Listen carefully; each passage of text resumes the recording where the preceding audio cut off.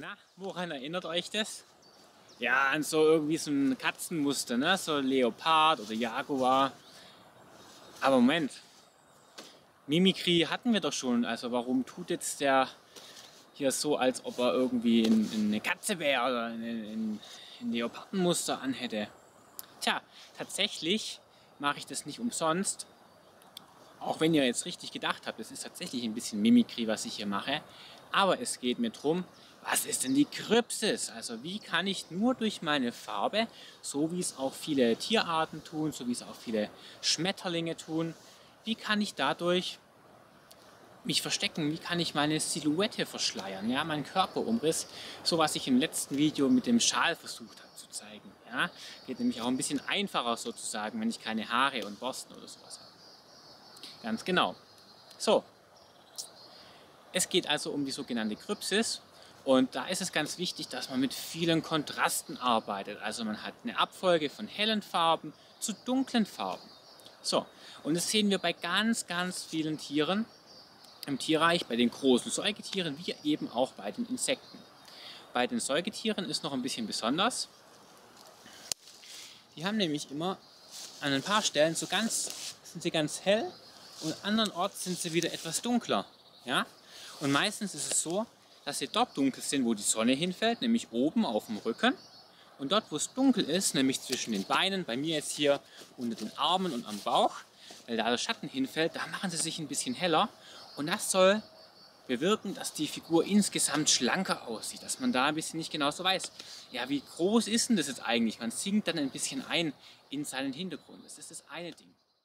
Das andere ist, hier gehe ich mal näher ran, durch verschiedene Farbkontraste, mal heller, mal dunkler, sieht es aus, als ob es unterschiedliche Tiefen gibt oder als ob das sogar zwei verschiedene Teile sind, weil die nicht richtig zusammenpassen von einer Farbe.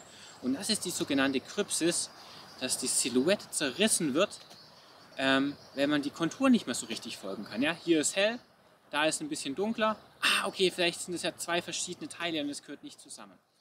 Auch hier könnt ihr natürlich wieder selber aktiv werden. Ihr habt vielleicht noch eure Schmetterlingsmodelle, Insektenmodelle von vorhin. Und da könnt ihr jetzt mal ausprobieren, was passiert, wenn ihr hier noch verschiedene Muster drauf malt, mit starken Kontrasten, also hell an dunkel. Ihr könnt ähm, schwarze, dunkelbraune Punkte drauf machen. Ihr könnt aber auch mal Stellen vielleicht weiß lassen. Und dann schaut ihr mal, welche dieser Schmetterlingsmodelle oder Insektenmodelle sich noch besser verstecken als die einfarbigen. Ja, ist doch mal spannend. Und jetzt wollen wir doch mal gucken, ob das gut funktioniert, so eine Krypsis. Und für dieses Beispiel habe ich euch jetzt zwei Cappies von mir mitgebracht. Die eine Cappy, ein wunderschönes Braun, selber gefärbt, übrigens mit Pflanzenrinden. Da gibt es auch Videos bei mir auf dem Kanal, aber eben nur einfarbig. ja. Und ein anderes Cappy von mir, das hat eben hier so helle Kontrastepunkte drauf. Erinnert vielleicht ein bisschen tatsächlich an so einen Schmetterling, ja, der manchmal so helle Tupfen irgendwo hat oder helle Muster. Oder auch wie ein Rehkitz auch so weiße Punkte hat. Und da wollen wir doch jetzt mal gucken, welches der beiden Cappies auffälliger ist.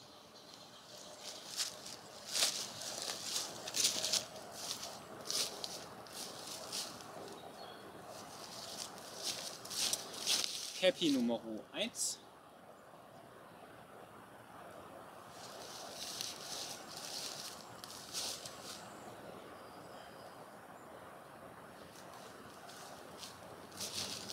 und Cappy Nummer 2. Und jetzt machen wir mal ein kleines Suchspiel, das war jetzt so als Vergleich gedacht. Ja? Und jetzt gucken wir mal, welches Cappy ihr zuerst findet. Ähm, ich mache jetzt drei Sequenzen, das heißt, dreimal verändere ich die Lage der Cappies und ihr müsst gucken, welches Cappy ihr als erstes entdeckt. Aufgepasst, es geht also los mit Sequenz Nummer 1.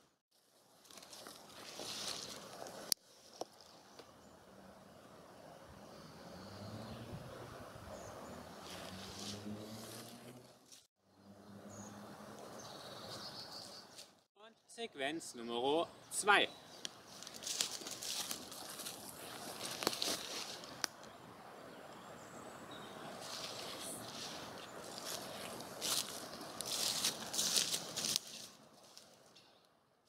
Und Sequenz Nummer 3.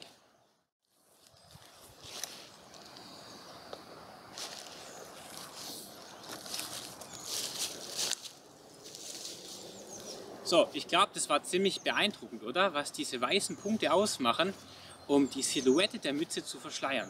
Und die ist ja doch sehr auffällig. Eigentlich so ein, so ein rundes Cappy-Ding, ne? das müsste man ja eigentlich sehen. Aber durch diese Punkte wird es nicht mehr ganz klar, was wohin gehört. Und das ist die Funktion der Krypsis. Ihr könnt es natürlich auch für euch selber mal nutzen, wenn ihr euch so eine schicke Waldjacke oder so ein Wald-T-Shirt machen wollt wie ich. Ja? Dann malt ihr einfach ein bisschen schwarze und helle Stellen drauf. Oder hier habe ich noch einen anderen Jagdpullover von mir. Da habe ich so ähm, Äste simuliert. All das, ganz wichtig, immer abfolgen von hell und dunkel, hilft bei der Krypsis. Und tatsächlich kann man da schon besser Tiere beobachten, wenn man sich ein bisschen besser verstecken kann. Das war also das Video Nummer 2. Und jetzt folgt dann gleich noch das Video Nummer 3. Und da geht es um die Warn- und Schrecktracht. Macht's gut!